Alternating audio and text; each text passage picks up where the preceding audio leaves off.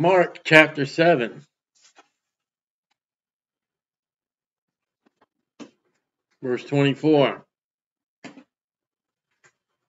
And from thence he arose and went to the borders of Tyre and Sidon, which is over by the Mediterranean Sea, entered into a house, and would have no man know it, but he could not be hid. Everybody's looking for him. Uh, a lot of pastors today, they want to be hid and they will be hit. They want people to find. They there's certain pastors I know they don't even want to know where you live, where they live. For a certain woman, and this shows this is not a parable. A certain woman. And we're not going to give her name, but there's a certain woman whose daughter had an unclean spirit, heard of him, and came and fell at his feet. She comes to worship him. Now, in Matthew, we learn about the disciples are going to get upset with this woman. She's constantly bothering him. She's approaching him, saying, Son of David, son of David. That's not the cry of, of a Gentile. But we're not looking at that. We're looking at Mark. Mark is concentrating outside, no. Concentrating on Jesus Christ and the subject at hand, nothing else on the outside. So, in other words, Matthew, Luke, and parts of John will take you're on Main Street. There's people going in stores, coming out of stores, in restaurants, buildings, and they're coming and going in their cars. They're crossing the street, and there's a car accident. And the Gospels will put, you know, this is what happened, and this is what this person saw, this is what that person saw. This person felt this way, that person felt that way. Mark approaches the police officer the people who are driving the cars, those who are in the car, and maybe a couple witnesses. Everything else is not in Mark. It centers on Jesus and the subject at hand. As I said in Matthew, we, we will learn that, which we didn't see with the feeding of the 5,000, we get into, you know, disciples like, get rid of them. Let's go. Let's be alone. You said give us rest. This woman's bothering us and then gives us more details, not in the Gospel of Mark. And for a certain, now I got to realize too, we have traveled great distance to where we are now. And you say, you know, nothing happened to Jesus from Galilee to where we are, from Jerusalem to where we are. Well, John said there are things that had happened that have not been recorded.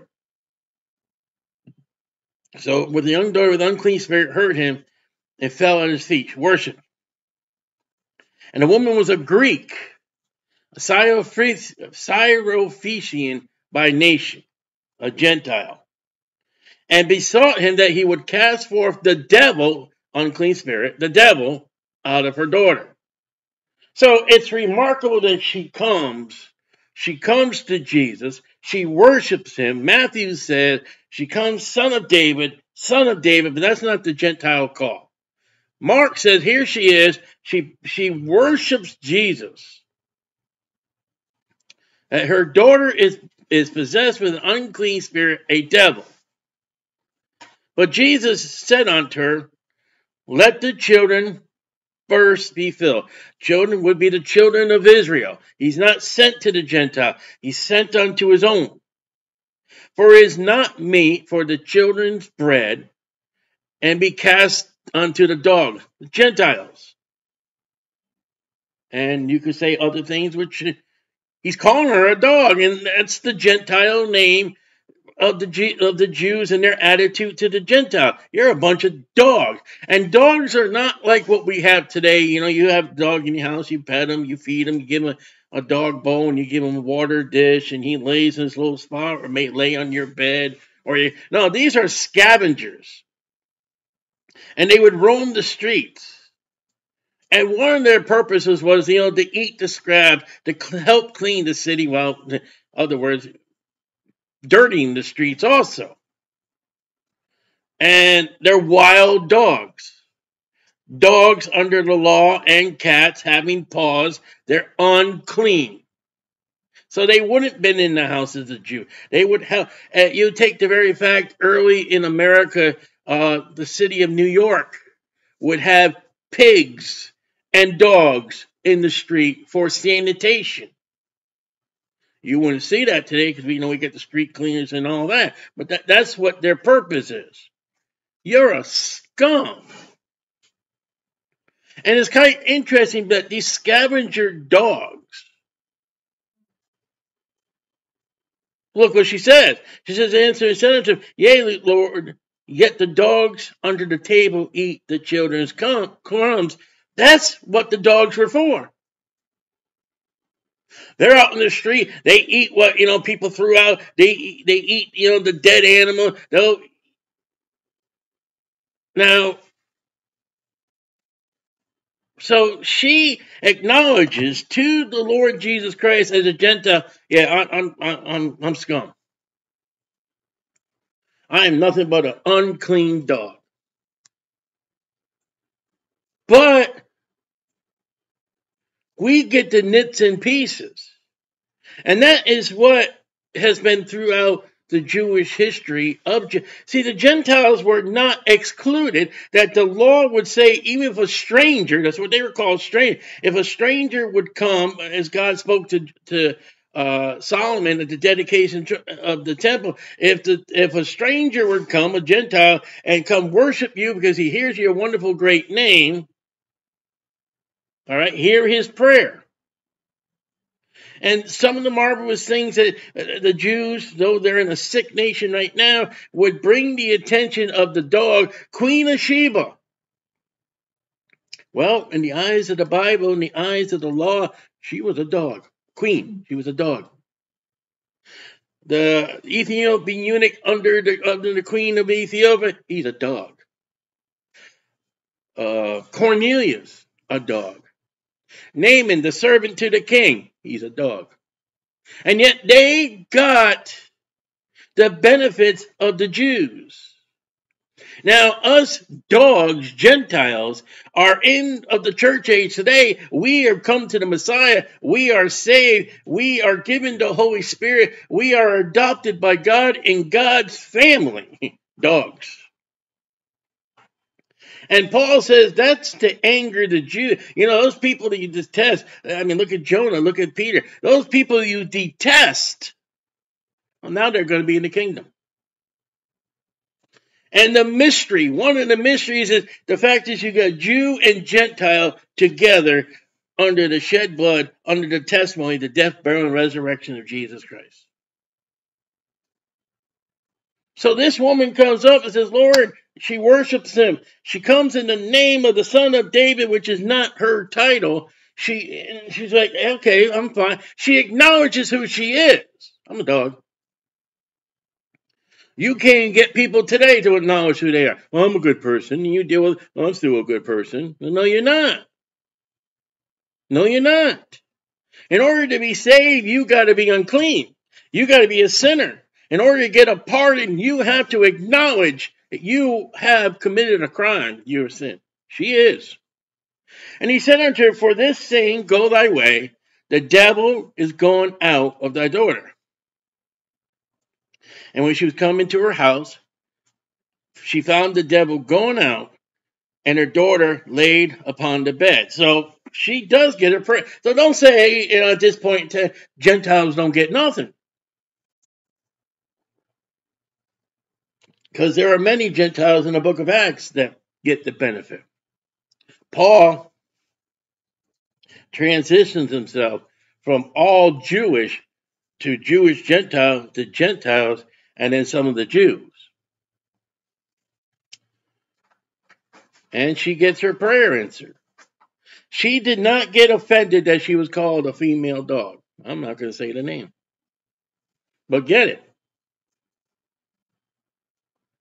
And there are some women today, you call them that name and they think it's a pride of honor. Yeah, I'm the female dog.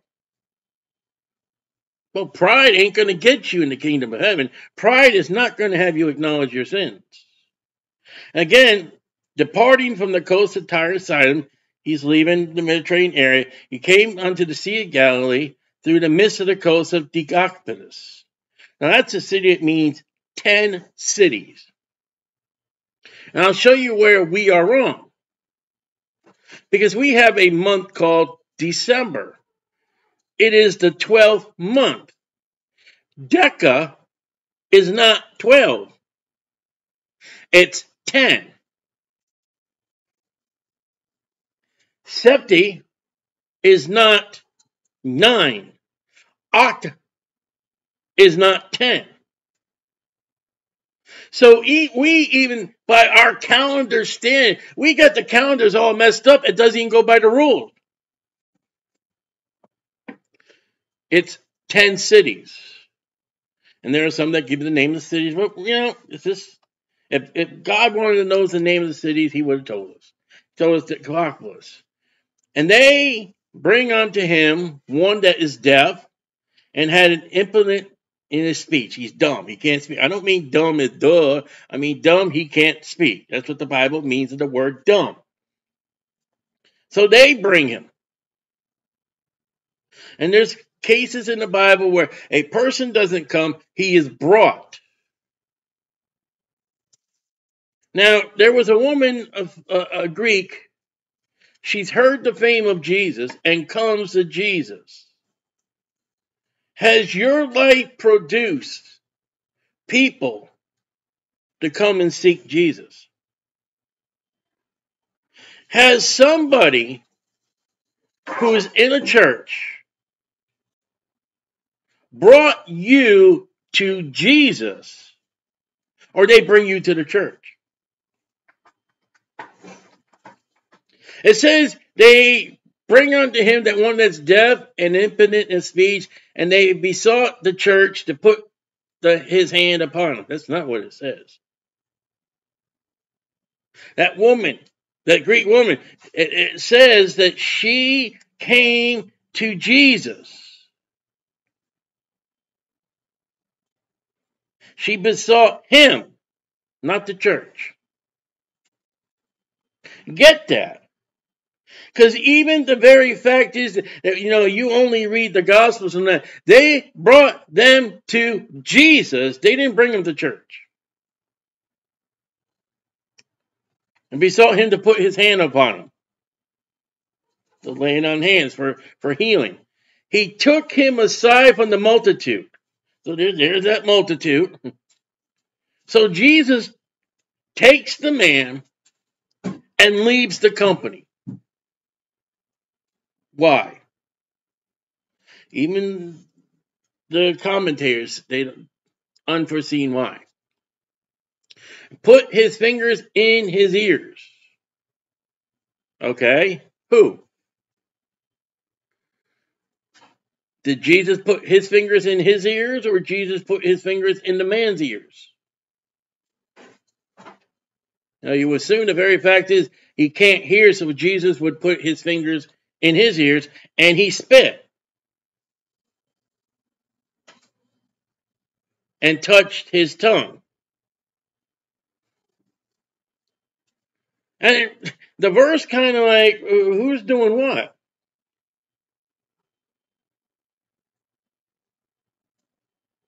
Looking up to heaven, he sighed.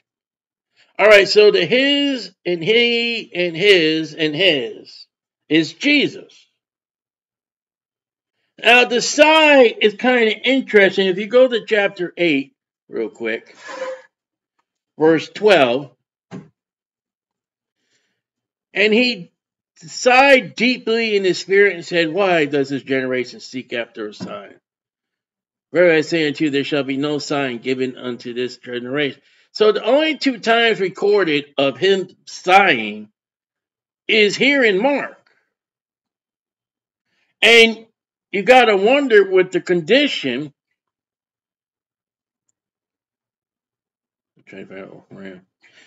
And it says he looking up to heaven, he sighed. Why? Is it the man?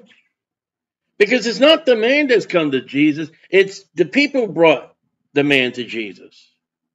He's taken this man out of the multitude. Is it the multitude? The very thing is, one thing we do know the spiritual condition of Israel is sick, it is devil possessed, And we know, because we read the Gospels, hopefully, we know at the end of each Gospel, when, when confronted with Pilate, the nation says, crucify him. These are the same that, hey, Jesus, heal me. Hey, Jesus, heal me. Hey, Jesus, get rid of this unclean spirit. Hey, Jesus, open my eyes. Hey, Jesus, open up my hearing. And oh,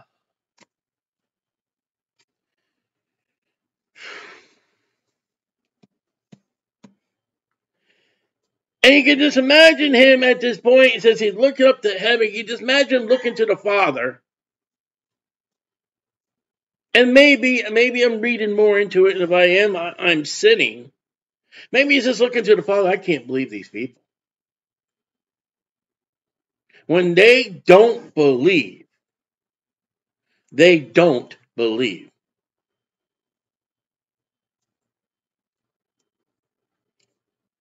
Many of them, they just want something. And that's the sort of the case when you look at man, is you know, you look at love. Most cases, love is lust, and that he there's something that person wants from the other person, without any regard to the other person.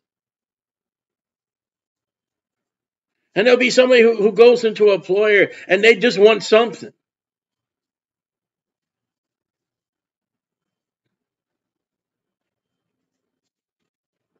He sighed. This, this is the first of two times recorded. You can't find sighed in any of the Gospels. And then and the sigh in, in Mark 8 is they want the signs, but they're not listening. He takes this man out of the multitude. He's laid his hands on him. He spit. You know, you imagine if Jesus did this in America? There would be offense. And in the nation and in the region that they are right now, it is. It's offensive. The very fact is, when, when Miriam gets leprosy and Moses besought Jehovah heal her, he says, Well, what if it be the fact is that if her father would have spit You know, give her, I forget how many days, it was seven days, something like that. And then, you know, we'll, I'll clean her up.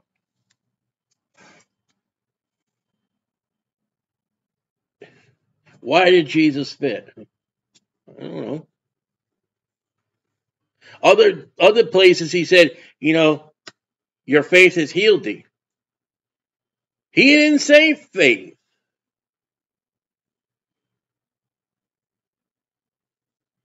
Maybe that's what the problem is. Maybe there's no faith. You know, you can get in, in line with Jesus.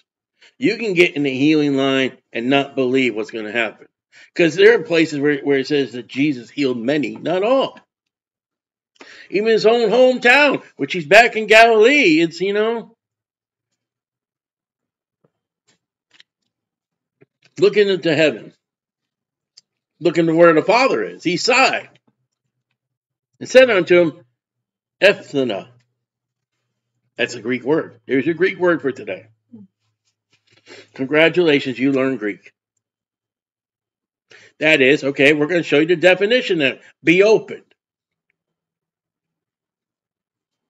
You see, if God wanted you to know Greek, if God wanted to know Hebrew, He put it in the Bible and then He'd tell you what it means. You don't have to press one, it's there. And Jesus didn't say, well, you know, in the original Greek. He didn't say that.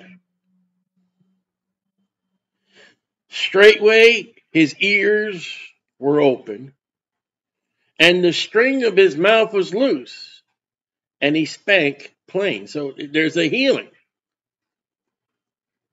He didn't say anything to him about his faith. But he did heal him. He pulled him outside the multitude. The multitude believe is not there. He said he'd take him aside from the multitude. You see, we've come to the condition in Israel that they're outright have rejected who the who Jesus is the Messiah. Why should I heal this man in the multitude when they don't even believe who I am anyway? And that's the problem with the churches. Why bring all are welcome. Bring your family and friends. When they're not going to believe, they're going to walk out of that service. They're going to walk out of that assembly. They're going to go about who they are, what they are, and they're not going to be touched. You think that your message, your meaning, your revival is going to touch the heart of all the world, you're impossible.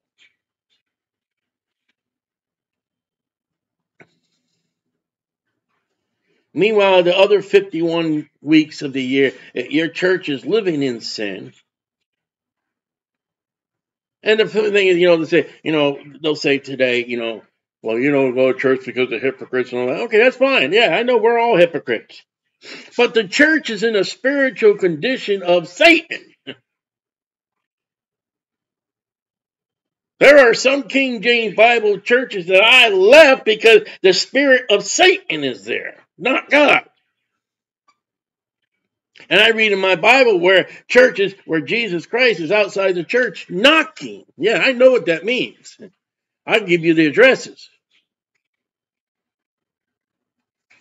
Now watch. and he charged them that they should tell no man. All right. So tell them. So this is the man and those that brought them. That's more than one. Here's a charge. Don't tell anybody what happened here. I don't want them to know. But the more he charged them, so much the more a great deal they have published it. They are doing what God said not to do. Jesus is God. Adam, don't eat that fruit. Adam ate the fruit. Go in all the world, preach the gospel. Oh, will you come to church? We're having a fellowship. It's Easter. Would you like to come to our Easter service? Hey, we're going to have a happy birthday thing at church this Sunday night. Would you come? That's not what Jesus said. He said, Go in the world and preach the gospel. And the churches will turn around and say, you know, the Great Commission of Matthew. Matthew is not your commission. Mark is. Why is it from the time of Adam unto today, April 19th, 2023, why is it God says do it, man don't do it? God says don't do it, and man does it. Now you, wonder why Jesus looks up to oh, brother. I wonder, I wonder sometimes, because I've had dogs. Not sure sure about cats. I wonder sometimes why didn't Jesus Christ go to the cross for a dog? Because a dog is patient. You can take a stick 400 times and throw it off in the field. 400 times that dog's going to go get that stick and bring it back to you, sit down,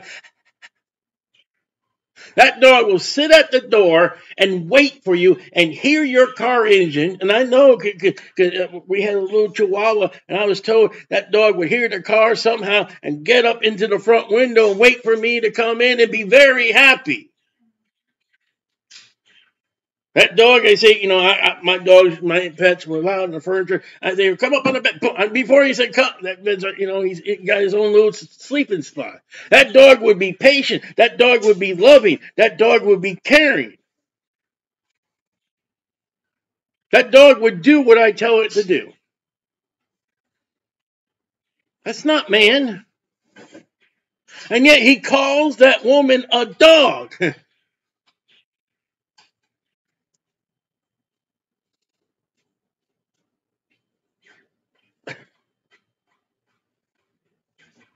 You know, God, we read, I read today. No, I think it was today. I was reading today, so yeah, this week sometime. I was reading there was a prophet who disobeyed God. Don't eat or drink here in Samaria. Get out of town. This false prophet came and lied to him. He come back, he ate and drank. And that false prophet says, you know, a lion's going to come and he's going to tear you to pieces. And the guy gets on his ass, he starts going off, and lion met him, and boom, killed him. And when they say, here is the ass, here is the dead body, here is the lion. The lion did not eat that body, and that's not a lion if he kills. And a lion does not kill for the sport of it. A lion kills because I'm hungry. Hey, Ravens. Yes. I want you to get that bread. And the, the Jewish say that the bread came out of Ahab's kitchen, which I don't know, but you know, I want you to get some bread. I got a prophet over there. I want you to feed them. And they don't eat the bread. Now I can picture Elijah eating the bread there and giving some to the birds. Well, how they do? I'll tell you. You know, yeah, that guy, man, he, he's just rebellious and that. Mr. Ass, open your mouth and start preaching. And you know, if God would open the mouth of a person in a Baptist church, a female, and look, you see what they're in, you see what they're in, you see how their children are, you see what kinds of trouble, but boom. All right? He opened the mouth of the ass, and the ass said what the Holy Spirit told him to say. This man gets his mouth open up, and he does exactly what Jesus told him not to do.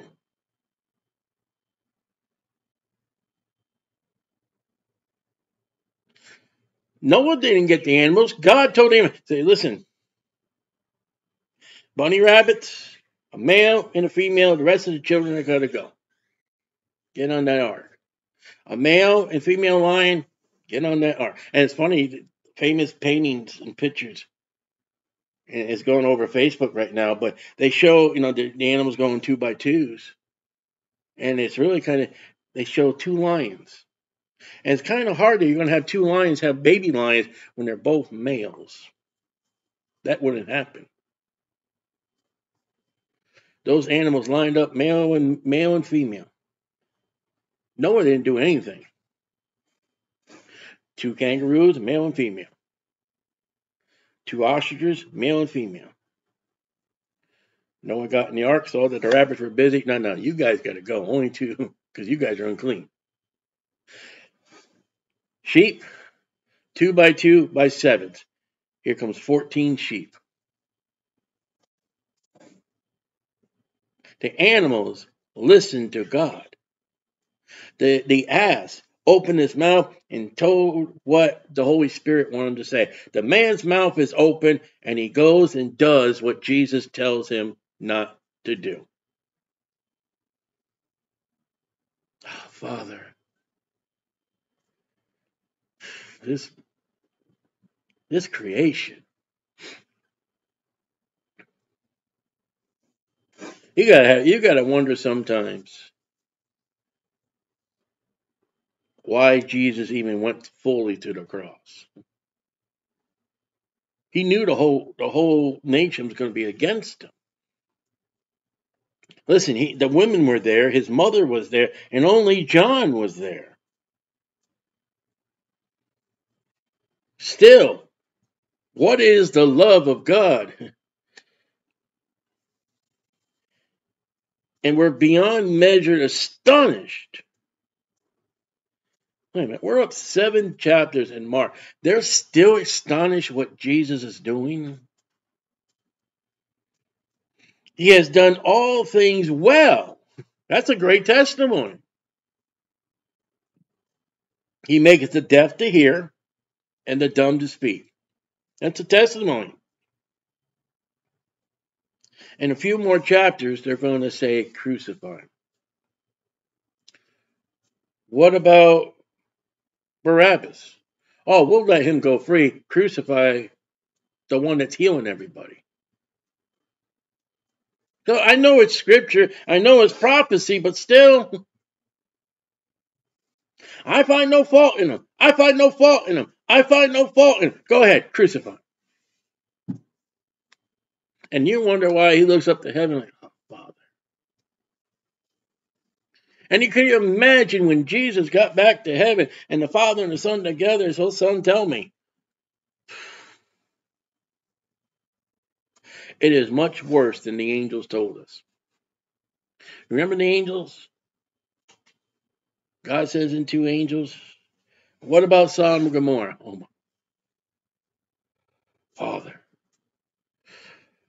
Get the get the get the brimstone, get the fire, get the hail. Okay.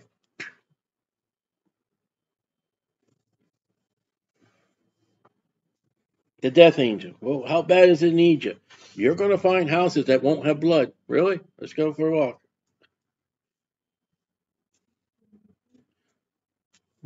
The prophet told him. And I guarantee, knowing the Bible, knowing the straight gate is the few, and the broad way is the, the, the, many. I know that not night in Egypt, many did not listen to God, a few did.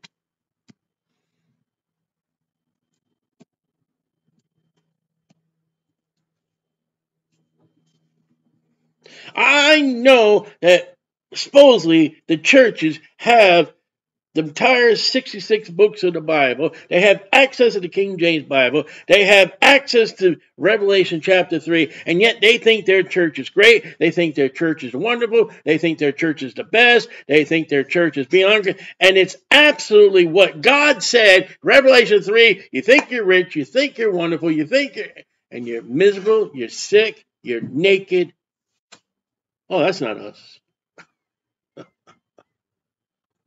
Really? Oh, that big, nasty Catholic Church. You're doing the same thing they're doing. And they got to the point today that they don't even say anything wrong with the Catholic Church. I was in the church. You pray for every church you pass by. Oh, Baptist Church, here is the daily bread, the, the, the, the Catholic prayer book, or whatever you want to call it. And he took me, I took him aside and said, listen, oh, we don't speak evil of any religion.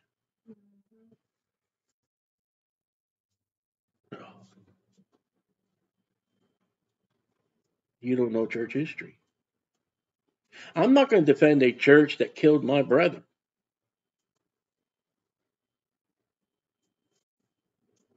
I'm sorry, man, many, many of the Baptist preachers don't know church history.